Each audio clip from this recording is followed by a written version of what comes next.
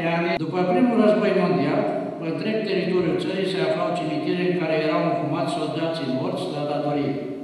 Aproape fiecare oraș, fiecare comună avea de asemenea cimitire.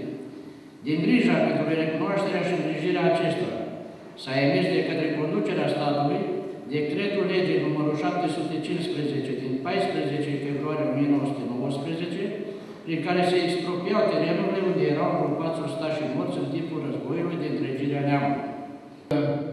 Aș vrea să vă felicit pentru tot ceea ce faceți, pentru că uh, prin dumneavoastră, prin filiala Vrancea, în Asociația Națională Culturoilor, ne aducem aminte ori de câte ori suntem puși în fața unui asemenea eveniment de cei care s-au luptat pentru ca noi să fim uh, astăzi un popor liber, o țară unită, întregită și să ducem o viață mult mai bună și mai liniștită decât au dus-o cei care au luptat pentru aceste idealuri ale poporului român. Vreau să felicit filiala Vrancea, personal pe domnul Buruiană Vasile, acest inimos uh, uh, fost militar, rezervist, pentru că, vă spun, de nu știu câte ori vine și bate la ușa, la ușa Consiliului Județean, la ușa mea, să-l ajutăm pentru a uh, înfăptui ceea ce Dumnezeu își propune.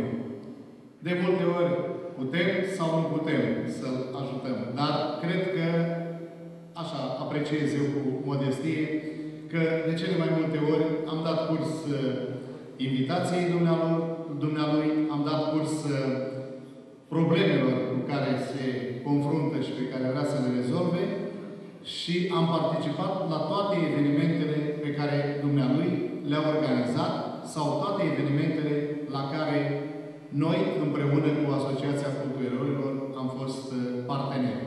Dragi camarazi, vreau să spun că pentru dumneavoastră astăzi este una din cele mai importante zile, zic eu. Este o zi istorică care trebuie trecută în calendarul nu numai a garnizonei Focșani, ci a întregului județ Vrancea.